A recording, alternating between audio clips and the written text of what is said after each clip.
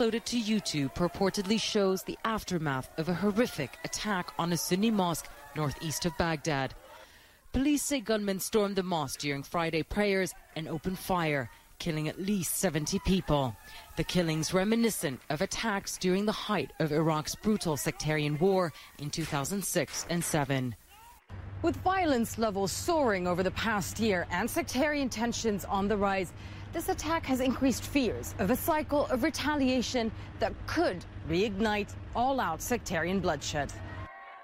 Sunni politicians blame the attack on Shia militias, announcing their withdrawal from government formation talks until the perpetrators are arrested. Iraq's main Shia political parties have also joined the calls for an immediate investigation. Salim al Jabouri, a moderate Sunni and the country's parliament speaker, attempted to calm tensions on Saturday.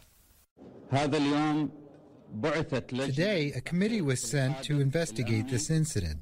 The committee contains a number of parliament members, along with security authorities, and a 48 hour deadline was set to reach results for this investigation of this heinous crime and massacre in Musab bin Umair Mosque. We are awaiting these results, and those results will be clear and public for everybody. This was promised by the Ministry of Interior. But Sunnis have little trust in the Shia led government and its promises. Over the past few years, Sunni Arabs have felt marginalized by what they say are the sectarian policies of Prime Minister Nour al Maliki and persecuted. Uploaded to YouTube purportedly shows the aftermath of a horrific attack on a Sunni mosque northeast of Baghdad. Police say gunmen stormed the mosque during Friday prayers and opened fire, killing at least 70 people.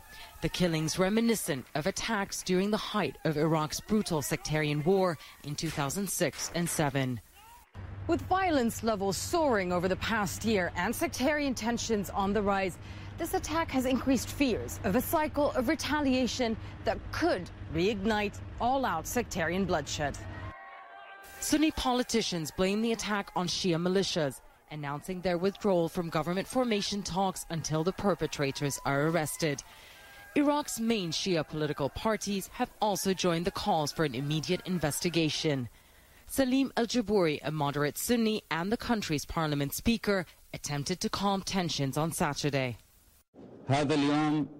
Today, a committee was sent to investigate this incident. The committee contains a number of parliament